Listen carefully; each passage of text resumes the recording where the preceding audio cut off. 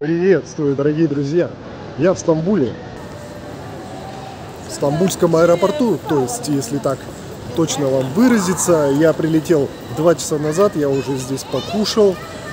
В принципе, пересадка произошла нормально, успешно, никто не докапался. Ну, в отличие, допустим, если вы ролик не смотрели на канале, есть как я из Грузии, из Батуми добирался до Стамбула.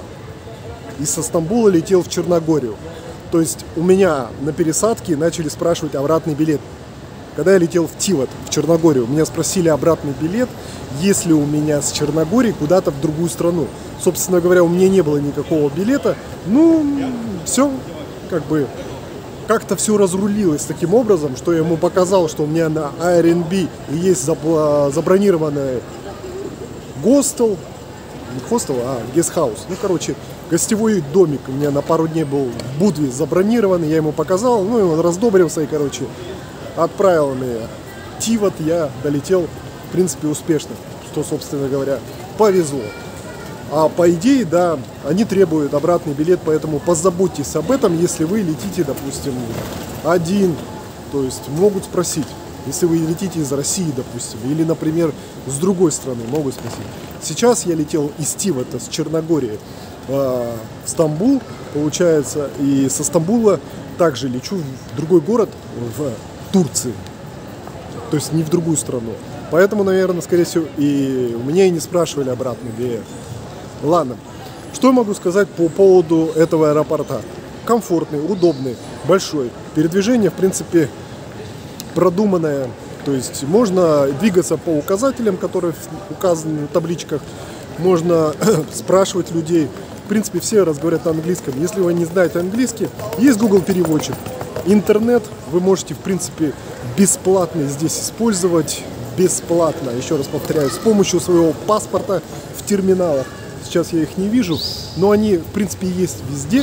Когда вы выходите из своего самолета и идете на получение багажа. На получение багажа, то есть, э, когда вы делаете пересадку. Вы, чтобы время скоротать, например, можете бесплатно пользоваться Wi-Fi час. Если хотите больше, вы можете доплатить и пользоваться дольше. Я бесплатно себе сделал, где-то на час Wi-Fi, он не час, если честно, минут 40, даже еще меньше дал мне возможности. То есть большие объемы информации он не дает скачивать. Ну так, в принципе, нормально. Сторис я повыкладывал там на Инстаграм, на Ютубе кое-что загрузил, все. Больше ничего такого я не делал. В принципе, нормально, удобненько. Если вы хотите посмотреть онлайн, то, естественно, вам нужно будет это все э, докупить. Сейчас я остаюсь на связи российского МТС оператора в роуминге. Собственно говоря, в день выходит где-то 450 рублей. Это вот такая связь дорогущая. 500 мегабайт дают достаточного трафика. То есть, ну, вот тебе хватит 500 мегабайт, тебе достаточно. Столько-то, дружище, на один день.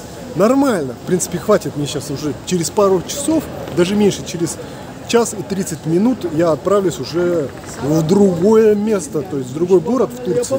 Пока я не буду об этом вам ничего говорить, вы об этом узнаете в следующем ролике.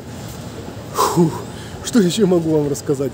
Так, по поводу если перекусы, например, вы экономный человек, да, вы экономите на перелетах, например, на по питанию, можете с собой захватить какие-нибудь батончики, сникерсы, чтобы э, перекусить все это в аэропорту, если вы долго находитесь.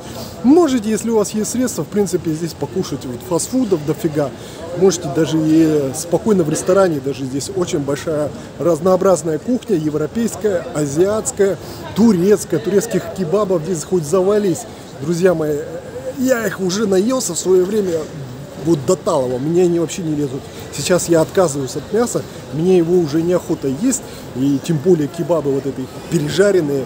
Не, я вот кофейка долбанул их, двойного турецкого, мне вот этого нормально хватило, чтобы у меня заряд энергии, слышите меня, да, как я тараторю, как зарядной зайчик, хотел сказать, батарейка зарядная, ну вот как-то вот так Да, кстати, между прочим, еще знаете, такая вот здесь информация по Турции, да, что в принципе все нормально. Вот такое ощущение, что при... я приехал сюда, и нету вообще вот этого ограничения, что было до этого. Знаете, там заставляли одевать вот эти тряпки на лицо, спрашивали вот эти ПЦР-тесты.